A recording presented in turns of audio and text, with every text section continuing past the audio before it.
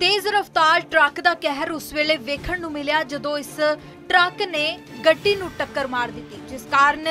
ਗੱਡੀ ਸੜਕ ਕਿਨਾਰੇ 20 ਫੁੱਟ ਗਹਿਰੇ ਖੱਡੇ ਦੇ ਵਿੱਚ ਜਾ ਡਿੱਗੀ, ਜਿਸ ਕਾਰਨ ਹਰਿਆਣਾ ਨੰਬਰ ਗੱਡੀ ਦਾ ਕਾਫੀ ਨੁਕਸਾਨ ਹੋਇਆ ਤੇ 에ਅਰ ਬੈਗ ਤੱਕ ਖੁੱਲ ਗਏ ਅਤੇ ਕਾਰ ਦੇ ਵਿੱਚ ਸਵਾਰ ਦੋ ਸਕੇ ਭਾਈਆਂ ਸਮੇਤ ਪੰਜ ਦੀ ਮੌਤ ਹੋ ਗਈ, ਜਦਕਿ ਚਾਰ ਲੋਕ ਜ਼ਖਮੀ ਹੋ ਗਏ ਅਤੇ ਜ਼ਖਮੀਆਂ ਨੂੰ ਨਿੱਜੀ ਹਸਪਤਾਲ ਦੇ ਵਿੱਚ ਦਾਖਲ ਕਰਾਇਆ ਗਿਆ, ਜਿੱਥੇ ਉਹਨਾਂ ਦਾ ਇਲਾਜ ਚੱਲ ਰਿਹਾ ਹੈ। ਇਹ ਭਿਆਨਕ ਸੜਕ ਹਾਦਸਾ ਹਿਸਾਰ ਚ ਦਿੱਲੀ ਬਾਈਪਾਸ ਦੇ ਸੈਕਟਰ 2728 ਦੇ ਮੋੜ ਤੇ ਵਾਪਰਿਆ। ਇਸ ਭਿਆਨਕ ਹਾਦਸੇ ਦੇ ਵਿੱਚ ਪੰਜ ਜੀਆਂ ਦੀ ਮੌਤ ਹੋ ਗਈ, ਜਦੋਂ ਕਿ ਚਾਰ ਜਣੇ ਗੰਭੀਰ ਰੂਪ 'ਚ ਜ਼ਖਮੀ ਹੋ ਗਏ, ਜਿਨ੍ਹਾਂ ਨੂੰ ਹਸਪਤਾਲ ਦਾਖਲ ਕਰਵਾਇਆ ਗਿਆ, ਜਿੱਥੇ ਜ਼ਖਮੀਆਂ ਦਾ ਇਲਾਜ ਚੱਲ ਰਿਹਾ ਹੈ।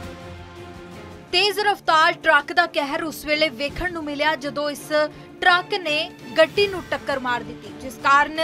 ਗੱਡੀ ਸੜਕ ਕਿਨਾਰੇ 20 ਫੁੱਟ ਗਹਿਰੇ ਖੱਡੇ ਦੇ ਵਿੱਚ ਜਾ ਡਿੱਗੀ, ਜਿਸ ਕਾਰਨ ਹਰਿਆਣਾ ਨੰਬਰ ਗੱਡੀ ਦਾ ਕਾਫੀ ਨੁਕਸਾਨ ਹੋਇਆ ਤੇ 에ਅਰ ਬੈਗ ਤੱਕ ਖੁੱਲ ਗਏ ਅਤੇ ਕਾਰ ਦੇ ਵਿੱਚ ਸਵਾਰ ਦੋ ਸਕੇ ਭਾਈਆਂ ਸਮੇਤ ਪੰਜ ਦੀ ਮੌਤ ਹੋ ਗਈ, ਜਦਕਿ ਚਾਰ ਲੋਕ ਜ਼ਖਮੀ ਹੋ ਗਏ ਅਤੇ ਜ਼ਖਮੀਆਂ ਨੂੰ ਨਿੱਜੀ ਹਸਪਤਾਲ ਦੇ ਵਿੱਚ ਦਾਖਲ ਕਰਾਇਆ ਗਿਆ, ਜਿੱਥੇ ਉਹਨਾਂ ਦਾ ਇਲਾਜ ਚੱਲ ਰਿਹਾ ਹੈ। ਇਹ ਭਿਆਨਕ ਸੜਕ ਹਾਦਸਾ ਹਿਸਾਰ ਚ ਦਿੱਲੀ ਬਾਈਪਾਸ ਦੇ ਸੈਕਟਰ 2728 ਦੇ ਮੋੜ ਤੇ ਵਾਪਰਿਆ। ਇਸ ਭਿਆਨਕ ਹਾਦਸੇ ਦੇ ਵਿੱਚ ਪੰਜ ਜੀਆਂ ਦੀ ਮੌਤ ਹੋ ਗਈ, ਜਦੋਂ ਕਿ ਚਾਰ ਜਣੇ ਗੰਭੀਰ ਰੂਪ 'ਚ ਜ਼ਖਮੀ ਹੋ ਗਏ, ਜਿਨ੍ਹਾਂ ਨੂੰ ਹਸਪਤਾਲ ਦਾਖਲ ਕਰਵਾਇਆ ਗਿਆ, ਜਿੱਥੇ ਜ਼ਖਮੀਆਂ ਦਾ ਇਲਾਜ ਚੱਲ ਰਿਹਾ